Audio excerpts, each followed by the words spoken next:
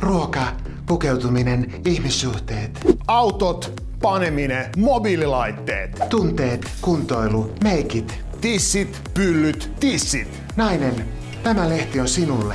Siksi sen nimi on Naisten lehti. Miesten lehti. Se on miesten lehti.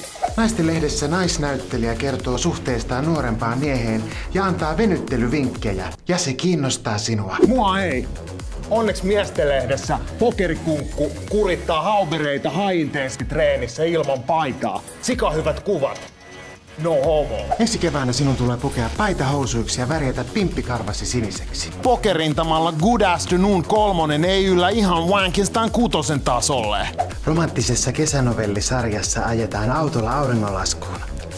Road Rage-nimisessä testireportaasisarjassa ajetaan autolla rotkoon. Naisten lehti. Naiselle. Miesten lehti. Miehelle. Anteeksi, Älä tule lähelle.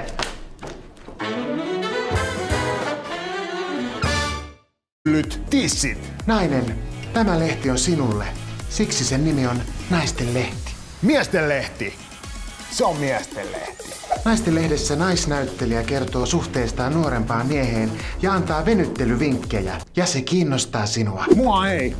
Onneksi miesten lehdessä pokerikunkku Ruoka, pukeutuminen, ihmissuhteet. Autot, paneminen, mobiililaitteet. Tunteet, kuntoilu, meikit. Tissit, pyllyt. Pylliseksi. Pokerintamalla Good Afternoon kolmonen ei yllä ihan Wankistan kutosen tasolle. Romanttisessa kesänovellisarjassa ajetaan autolla auringonlaskuun. Kurittaa haubereita hainteeski treenissä ilman paitaa. Sika hyvät kuvat. No homo. Ensi keväänä sinun tulee pukea paita housuiksi ja värjätä pimppikarvasi